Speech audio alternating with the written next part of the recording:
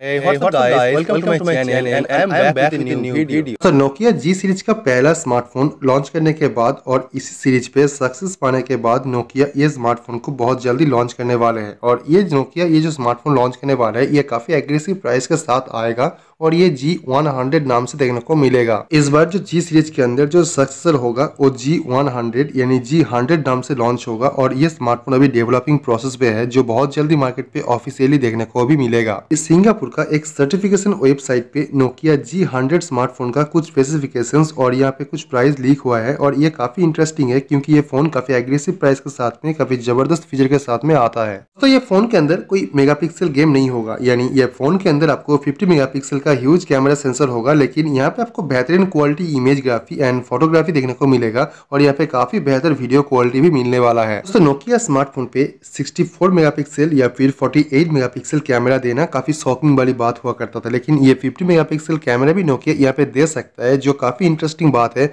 और ये काफ़ी बेहतरीन कैमरा क्वालिटी भी दे सकता है। तो ये फ़ोन पे एंड्रॉइड की लेटेस्ट 12.0 ऑपरेटिंग सिस्टम देखने को मिलेगा। और ये फ़ोन पे सबसे कमाल की बात है कि यहाँ पे आपको 12.0 ऑपरेटिंग सिस्टम तो मिलेगा, लेकिन ये स्टॉक एंड्रॉइड ऑपरेटिंग सिस्टम होने वाला है।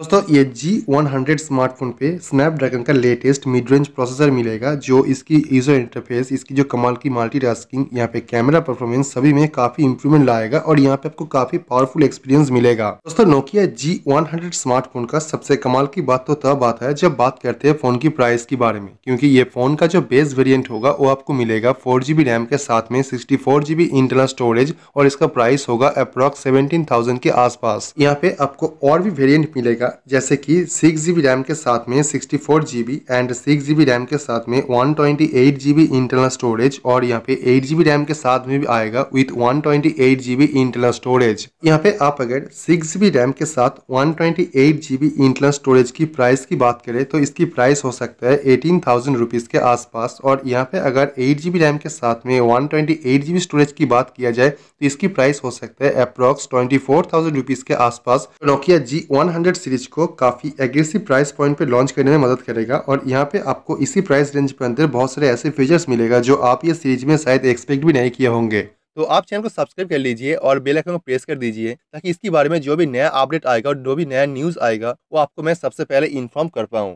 ताकि आप इस डिवाइस के बारे में सभी रिपोर्ट और सभी न्यूज़ सबसे पहले जान सके। So let me know your thought on this and I will see you guys tomorrow peace out